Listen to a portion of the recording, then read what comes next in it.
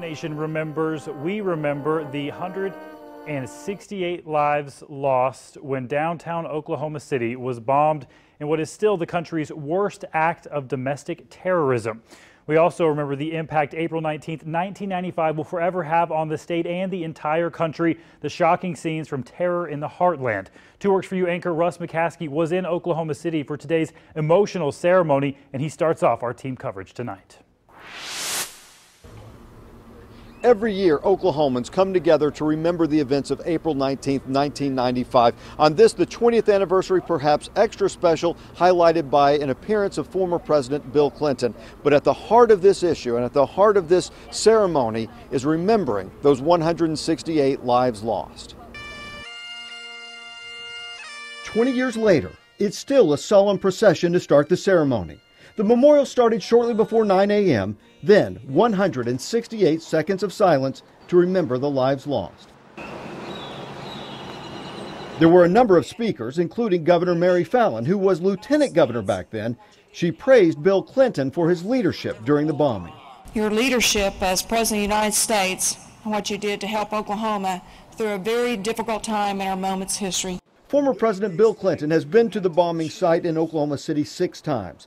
He says instead of it hurting America, it made us stronger. When you strip away all the little things that divide us, it's important to remember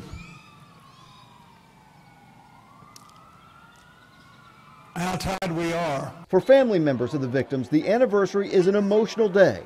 Austin Allen lost his father. Especially when you hear your father's name, my father's name, when I heard his name, you know, uh, read off, you know, it just sets off sets off a series of emotions. It's also a trying day for Dion Thomas, who lost her mother in the bombing. Dion was 15 years old at the time. Now she's following in her mother's footsteps and works to help others in need. You know, I'm kind of like a reflection of her, and I just pray that I can, you know, be as great of a person as she was. They say time heals all wounds, and some of the family members we spoke with say it is getting easier each and every year, but they do say they'll never forget what happened here 20 years ago.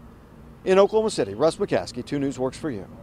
Russ, thanks. And the man who led our state during the Oklahoma City bombing spoke of resilience and perseverance in its aftermath.